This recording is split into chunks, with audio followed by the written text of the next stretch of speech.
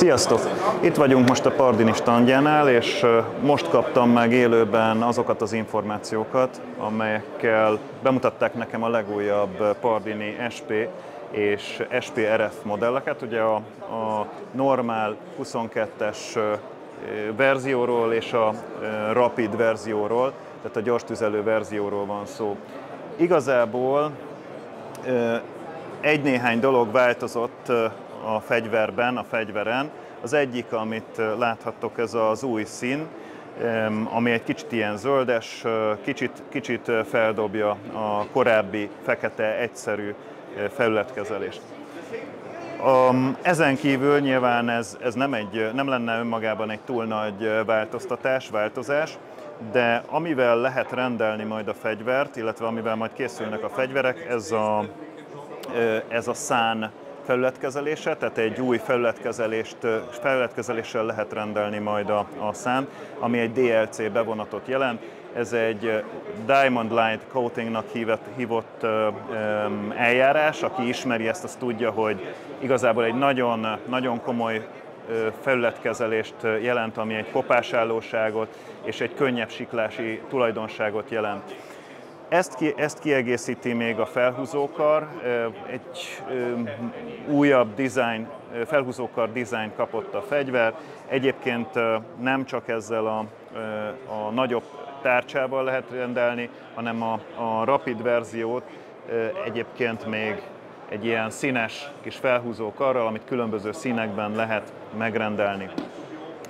Beszéltünk a szánról, még a különlegessége a fegyvernek, vagy hát egy változtatás, hogy egy, egy erősített műanyag tárat kapott a fegyver, amiről azt mondják itt a kollégák, hogy, hogy az ellenálló képessége, a, a dinamikus hatásoknak történő dinamikus hatásokra történő reakciója a tárnak sokkal-sokkal jobb, mint az eredeti fémből készült, fémlemezből készült tárnak és egyébként a leesésre is kevésbé érzékeny, stabilabban, stabilabban működik egyébként vele a fegyver. Még sajnos nem, nem próbáltam ki, de majd beszámolok róla, hogyha, hogyha ezek a tárak megérkeznek, és ki tudjuk majd őket próbálni. Ugye, amit korábban már a tavalyi évben már említettem, hogy rendelhető 15-ös tár is a fegyverhez, tehát a, a, aki gyors pontot lő, vagy, vagy dinamikus versenyszámot lő, ő, az ő számukra ez egy segítség lehet, egy nagyobb tárkapacitású tár személyében.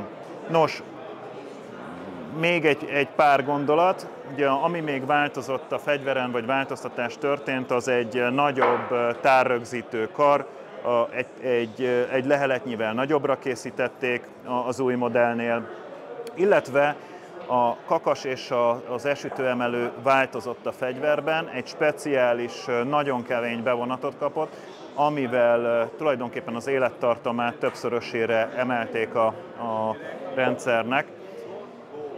Amit, amivel még így kiegészíteném, hogy ezek az alkatrészek, tehát például a kakas meg, a, meg az elsütőemelő, hogyha valaki, valaki mondjuk szeretné utólag cseréltetni a fegyverébe, akkor 2016 után gyártott fegyverekben ezt ki tudjuk cserélni, tehát tudunk az új technológiával készült kakast és elsütőemelőt beszerelni a fegyverbe.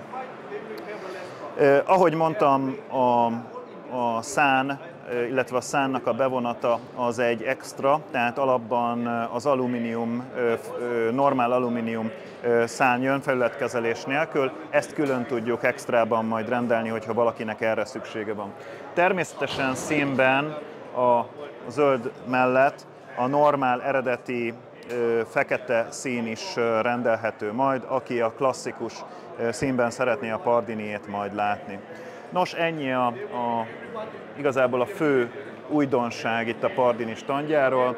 Remélem, hogy érdekesnek tartottátok ezt a videót, hogyha igen, akkor kérlek osszátok meg barátaitokkal, ismerőseitekkel is, és még lesz több beszámoló innen az Iváról, de ezt mindenképpen szerettem volna veletek megosztani. Köszi szépen, sziasztok!